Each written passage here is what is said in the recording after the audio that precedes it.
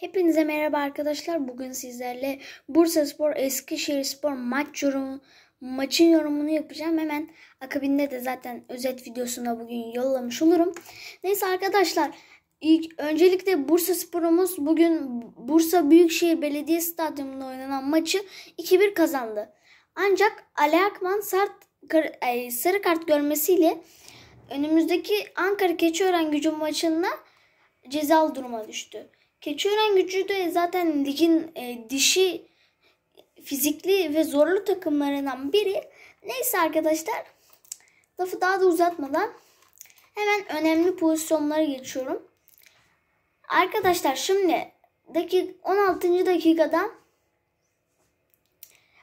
e, Burak Kapacak Cüneyt Köz'ün e, kendi yarım, yarı sahamızdan uzun attığı uzun pasla topu e, önce önüne aldı. Sonra kaleciyle karşı karşıya kaldı ve durumu 1-0'a getirdi. Daha henüz 16. dakikada. Akabinde 32. dakikada da Furkan Balaman sarı kart gördü ve böylelikle ilk devreyi Bursa Spor'umuz Eskişehir Spor karşısında 1-0 e, önde bitirdi. Sonra 59. dakikada e, Özer Ürmacı yerine yerini Ozan İsmail Koç'a bıraktı. Zaten bugün Özer çok etkili değildi. E, İsmail sonra hemen arkasında yani hemen önüne bir faal oldu. İsmail yarı Eskişehir Spor'un yarı sahanın ortasında falan İsmail'e faal yaptılar. Sonra Emirhan bunu Emirhan o faali ortaladı ve Cüneyt Göz kafe vurup durumu 2-0'a getirdi. Ee, o zamanla maçı izlerken hepimiz de oh be demişizdir. Sonra 63. dakikada Bedirhan Altunbaş sarı kart gördü. 69. dakikada da Batuhan Kör yerini Çağatay Yılmaz'a bıraktı. Bugün o da sönük kalan oyunculardandı.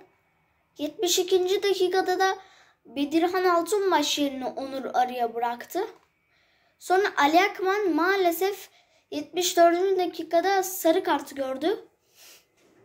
Ve cezalı duruma düştü. Keçiören gücü maçında.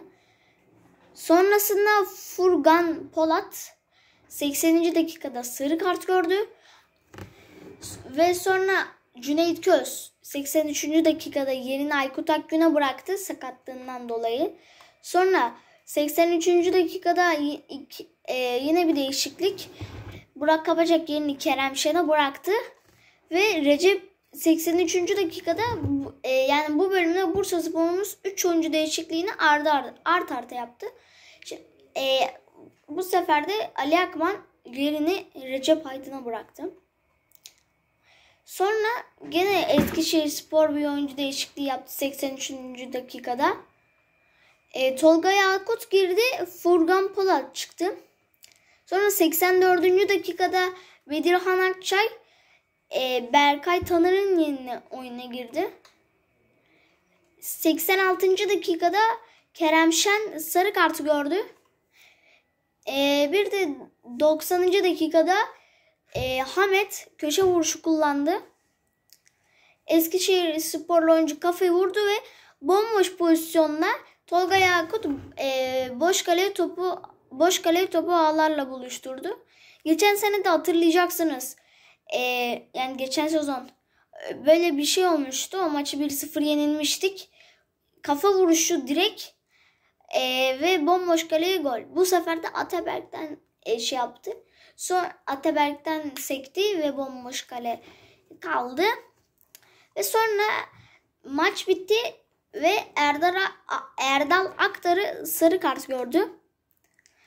Arkadaşlar bu maça bakılınca ee, Bursa Spor'umuz pek de etkili olduğu söylenemez. Yani eski diğer Bursa Spor maçlarına göre. Ama yani bir ee, bir şey vardı yani. Bir hırs vardı ama neyse 2-1 yendik iyi oldu. Arkadaşlar Burak Kapacak e, karşı karşıya pozisyon kaçırdı. Tabii bunların kaçıncı dakikada olduğunu hatırlayamıyorum şu ana kadar. Orada bura e, bir de iki tane verilmeyen net gol pozisyonumuz var. Yani penaltı verilmeyen. Bir tanesinde top burayı çarpıyor. Yani orta yapan oyuncunun tam şurasına çarpıyor. Bu penaltıydı arkadaşlar. Diğer pozisyonda yanlış hatırlamıyorsam he arkadaşlar ikinci pozisyonda da gelmişti oyuncu.